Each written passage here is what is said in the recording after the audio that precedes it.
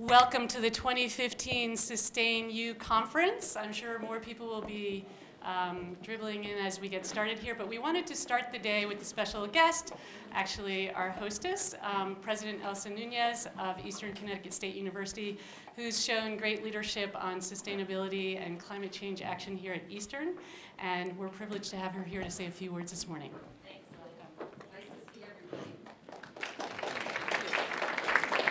Welcome to all of you. I, um, I'm very uh, honored to be in your presence. You're the people who drive the discussions in this country and the good actions that we take as Americans. And our attention has been, you know, not always in the right place on, on uh, sustainability and issues related to energy. And so I, I always uh, say how important it is for people like you to be acknowledged and told how important you are to this country because of your passion, because what you believe in, and, and it is inspiring. Um, I have the pleasure of being president of Eastern for almost 10 years, and the students who will succeed you in your jobs someday or you know, join you in your jobs and your firms are here at Eastern, and they're as passionate as you are, and it is really inspiring. The faculty will tell you how they think they can change the world, and it's just wonderful to see that because, you know, in fact, people with great ideas and great commitment can change the conditions of our society. So again, thank you for all the work you do. We're, we're full of admiration. Uh, secondly, you know, I wanted to just mention that uh, I came to this work uh, like all presidents, you know, there's an agenda and people push you in one way or in another. But philosophically was the first place where I landed with the conditions uh, in our country and abroad uh, and the conflicts that were created around energy, energy uh, uses and needs. Um, and I remember talking to my husband about how disconcerting I found it that the United States was so energy dependent and thinking at that time, I'm in my 60s now, it'll never change, and things have changed. And so this idea of sustainability and, uh, and its connectedness to a great American democracy is really important to me philosophically. So this work is not just something on the list, but I think for me it has great meaning.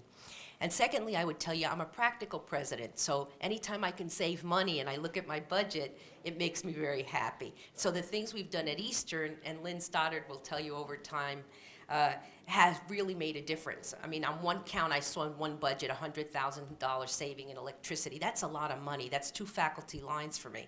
And so on the practical side, I'm always interested in the discussions that you lead about energy savings and how we could be a sustainable university. So the conference uh, today is a meaningful one in many ways. So again, thank you for being here. It's a delight for Eastern to host this conference and to co-chair the Connecticut Alliance for the for campus sustainability with our colleagues at Yale. I was mentioning to our colleagues at Yale how honored we are to be partnering with them. It is very unusual, and I was at, in Washington for the last three days, for the public and the private sector to unite on anything. Usually, I mean, we have such different missions. So it is an honor to be uh, working with Yale, but also I think it's very symbolic that we broke that sector separation and that we're working together. So thank you for allowing us to join you. I'm excited to see that we have over 100 dedicated and enthusiastic sustainability leaders with us today, representing one dozen Connecticut colleges and university, our state agency and utility partners, and clean energy business, businesses. What a diverse group. There's students, there's faculty, there's alum, and staff responsible for managing college and university facilities, buildings, purchasing, community engagement, transportation, and sustainability offices. Our system consists of 17 colleges and universities, 12 community colleges, four state universities, and one online operation, which is called Charter Oak. The diversity of this group is a wonderful testament to the broad coalitions you have built to create momentum and strong leadership for sustainability on Connecticut campuses. I was also impressed when I looked at your agenda over the weekend to see some of the topics being discussed today.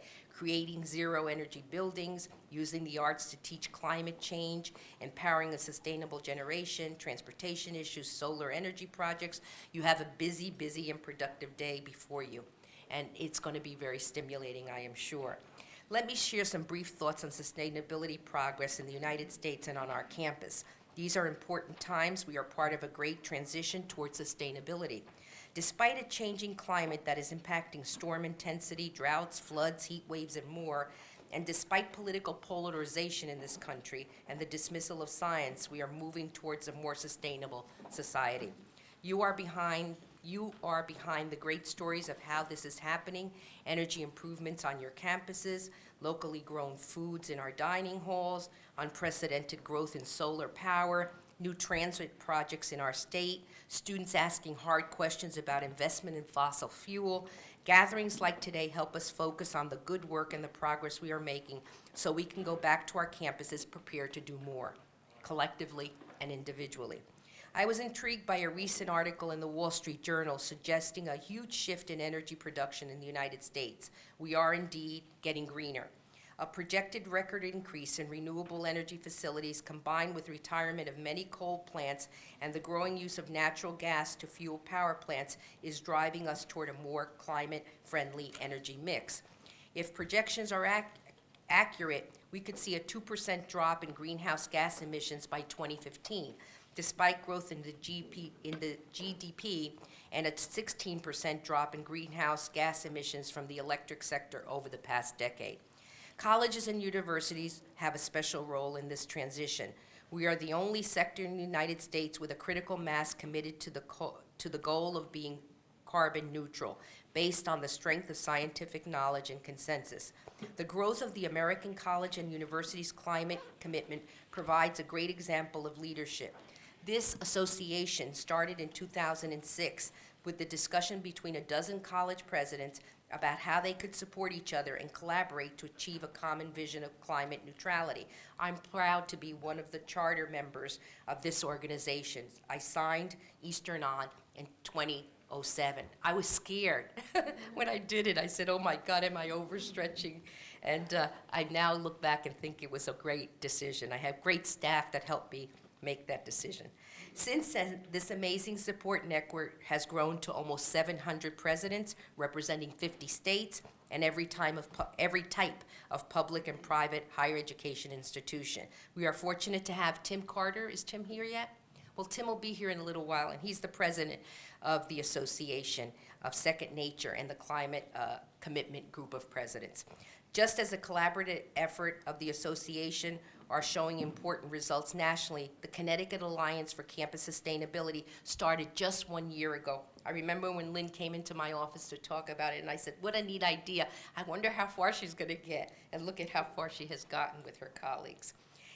Uh, co-chaired by Eastern and Yale, the Alliance has already improved communication, networking, and sharing of success stories through the annual conference, roundtable events throughout the year, and the listserv. The Alliance's major focus is to facilitate collaboration among institutions. By sharing our successes and our challenges and leveraging the experience, knowledge, and dedication that each of us brings to the Alliance, we will certainly accomplish far more together than we can individually. I'm very proud to have met the Commissioner Rob Klee of the Department of Energy and Environmental Protection. Is Rob here yet? He'll probably be here later. And uh, very proud to have met him and very, very, very supportive of the work he's doing in our state. He's a great leader. Keith Epstein and Chris Dupu- Dupuis from uh, the system office are very good colleagues, and Keith couldn't be a better colleague in terms of understanding the needs of the individual campuses. Here at Eastern, we say we have a three-legged stool. The faculty has heard me say this. That's facilities, the academic area, the departments, the academic department, and then, of course, the Institute for Sustainable Energy. In our facilities department, uh, Renee Keish makes sure that all the campuses, it, the campus is green, that we abide by what we say we are abiding by, and she makes sure that we are uh, going towards our goal of being carbon neutral. The Center for Sustainable Energy Studies has an endowed chair. Paul Torcellini will be here later. He's Oh, Paul, there you are. Great to have you here. Is a the endowed chair, and Paul's scholarly record is impeccable. It is really, really impressive, and he gathers the students around the academic issues, the courses, all of the things that we need for our students to understand the importance of sustainability in this country. Um, that leg of the stool is um, very important to Eastern because we're one of the few uh, institutions in the country that has an endowed chair in sustainability studies, and we're very proud that Paul holds that chair. Lynn Stoddard is the head, and you just heard Lynn speak, of the Institute for Sustainable Energy, which has a statewide presence uh, and has, does advocacy work and also educational work across the state with K through 12 and colleges and universities and other state agencies. It's really important that at Eastern, it's a three-legged stool. It's not just in the classroom, it's not just an, you know, an energy institute working with outsiders, and it's not just what we do as a campus, the facilities department, but it's all three leaders coming together with a common cause, a common vision, and more importantly, a deep, deep philosophy to create change and to be the examples of change. I'm very proud to be president of Eastern, and I'm very proud of the work my staff and faculty are doing to make sure that sustainability is not just a, the catchy thing of the day, but that it's something that we live by every day. Thank you.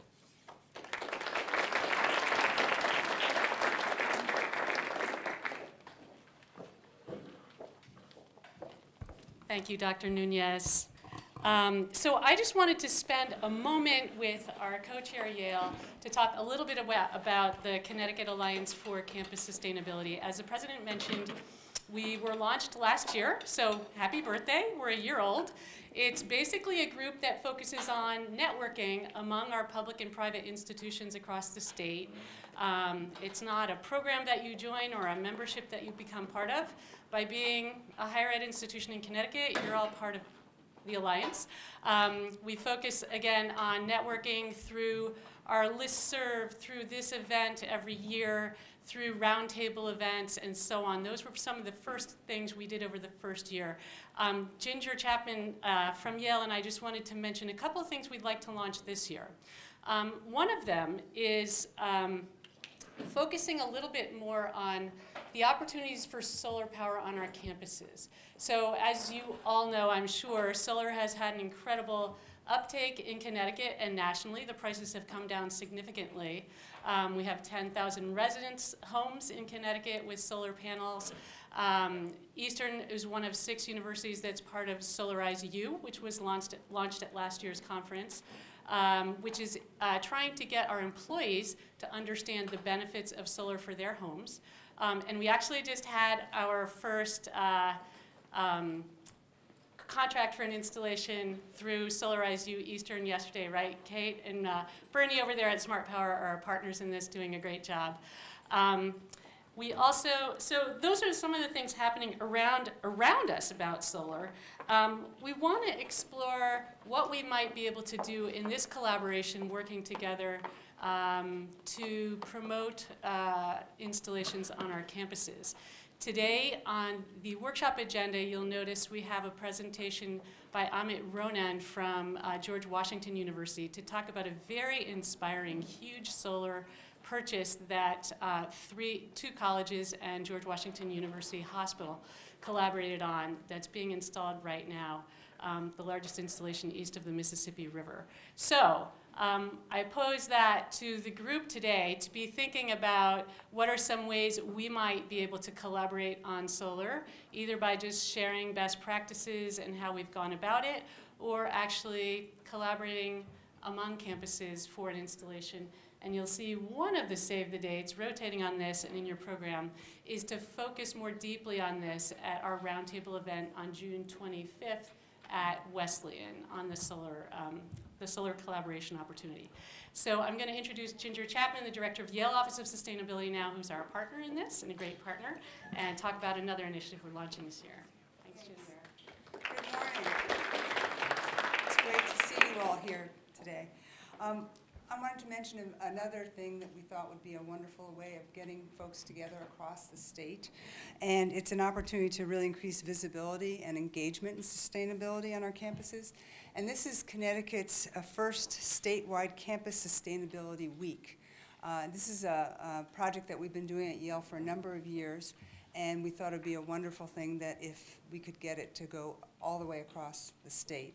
Um, This fall, it's going to be held from October 5th through 9th, and we're hoping that each campus will highlight events and activities that week to welcome new students to campus and energize our communities.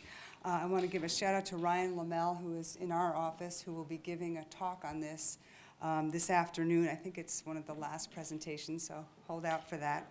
Um, And uh, he'll describe how we've been doing it at Yale and also have a good discussion about how we can get um, all the other campuses involved. So this would be a wonderful thing if we could actually move this particular activity. Thank you.